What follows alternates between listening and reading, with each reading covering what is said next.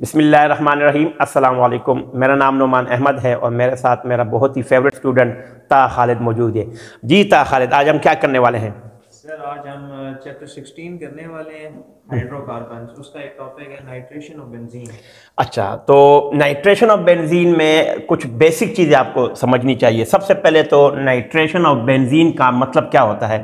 तीन heading definition reaction और इसका मैकेनिज्म मैं यहाँ पे लिख लेता हूँ मैकेनिज्म ये तीनों टॉपिक इसी से रिलेटेड है, ठीक है? तो आप सोच लें कि अगर आपको ये सारे टॉपिक आ जाएँगे तो आपका ये टॉपिक कवर हो जाएगा। सबसे पहले नाइट्रेशन ऑफ़ बेंजीन का मतलब क्या होता है?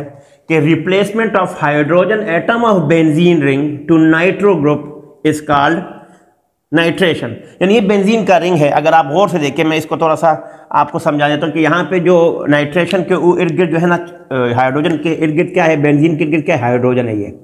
यहाँ पर भी है, यहाँ पर भी है, यहाँ पर भी है। तो उसको लिखने की ज़रूरत नहीं है। यहाँ से जो हाइड्रोजन होता है, ये रिप्लेस हो जाता है इस तरह। ठीक है? इन्होंने अपने क्या बनाया वाटर बना दिया और ये नाइट्रोग्रुप बेंजीन के साथ अटैच हो जाते हैं। तो यहाँ से बेंजीन के रिंग के ऊपर कौन सा अंदर रिंग के अंदर कुछ भी नहीं चेंज हुआ। सिर्फ़ नाइट्रो ग्रुप बेंजीन के ऊपर अटैच हो गया। तो ये आपके पास आएगा नाइट्रो बेंजीन ठीक है? और साथ जो वाटर है, बेशक आप इसको माइनस में ऐसे लिखिए बाय प्रोडक्ट है, ठीक है? इसका मतलब क्या है कि बेंजीन से हमने कन्वर्ट कर दिया। ये बेंजीन था बेंजीन से हमने क्या बना दिया? नाइट्रो बेंजीन नाइट्रो बेंजीन तो कभी कभी कन्वर्जन भी आता है कि व्हाट इज़ नाइट्रेशन तो या कभी कभी ये भी आता है कि कन्वर्ट बेंजीन इनटू नाइट्रोबेंजीन तो आपने नाइट्रेशन ऑफ़ बेंजीन करना है। तो डेफिनेशन और रिएक्शन अब हम आते हैं इसके मैकेनिज्म के।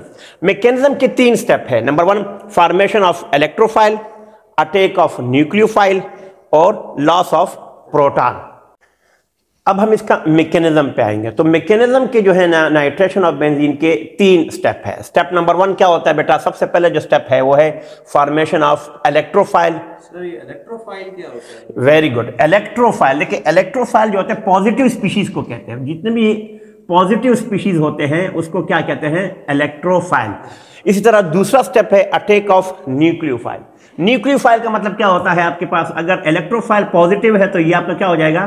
नेगेटिव ठीक है? नेगेटिव स्पीशी को क्या कहेंगे? इसी तरह और प्रोटॉन क्या होता है? हाइड्रोजन पॉजिटिव ठीक है? तो ये तीनों का आपने इस तरह हेडिंग देनी है। Formation of electrophile attack of nucleophile और लॉस ऑफ़ प्रोटॉन अब देखो जो मैकेनिज्म होता है वो सल्फ्यूरिक एसिड का यानी कैटलिस्ट का और रीजेंट का होता है। इन दोनों का हमेशा मैकेनिज्म होगा। तो मैं यहाँ पे इसको लिख लेता हूँ। सबसे पहले तो मैं ये नाइट्रिक एसिड को ऐसे लिखता हूँ। ठीक है? और सल्फ्यूरिक एसिड को H S O four H लिख लेता हूँ। कोई फ़र्क नहीं पड़ता इसे। क्यों? क्योंकि हमने तो इसको ब्रेक डाउन किया ठीक है? अब होगा क्या? गौर से देखे जरा कि यहाँ का जो ओ एच होगा, वो इसके साथ क्या कर लेगा? वाटर बना लेगा। तो वाटर बन जाएगा बाय प्रोडक्ट में हम ऐसे, ठीक है? अब देखो क्या बन गया? NO2 इसके ऊपर पॉजिटिव चार्ज आ जाएगा। NO2 के ऊपर क्या जाएगा? पॉजिटिव और HSO4 के ऊपर क्या आ जाएगा? माइनस आ जाएगा। Minus one. ठीक है, ये हो गया स्टेप अब सबसे पहले क्या होगा? अटैक ऑफ़ न्यूक्लियोफाइल इसमें न्यूक्लियोफाइल क्या होता है? देखें ये जो NO2 है ना, ये आपके पास क्या है? पहले तो इलेक्ट्रोफाइल इलेक्ट्रोफाइल का मतलब क्या है? पॉजिटिव न्यूक्लियोफाइल का मतलब क्या है? नेगेटिव तो सबसे पहले फॉर्मेशन ऑफ़ ये तो बन गया। अब अटैक ऑफ़ न्यूक्लियोफाइल अब न्यूक्लियोफाइल इस पर अटैक करेगा। कैसे अटैक करेगा? तो बेंजीन का जो रिंग है, ये हमने बेंजीन का रिंग बनाया, ठीक है? बेंजीन के रिंग के अंदर आपने सारे बनाने ऐसे। सबसे पहले न्यूक्लियोफाइल लेना। एंड न्यूक्लियोफाइल आपके पास क्या था देखो, ये आपके पास न्यूक्लियोफाइल ये इलेक्ट्रो, न्यूक्लियोफाइल है ये इलेक्ट्रोफाइल है। तो ये अटैक करेगा ऐसे। हमेशा डबल बॉन्ड जो होता है ना, पॉजिटिव पे अटैक करता है। तो ये वाला बॉन्ड यहाँ से रिमूव हो जाएगा। ठीक है? अब देखो, ये वाले बॉन्ड मौजूद है सारे। ये हाइड्रोजन ये हाइड्रोजन ये हाइड्रोजन मौजूद है। आप बेशक इसको लिख ले। ठीक है? अब इसमें क्या होगा? और से देखें।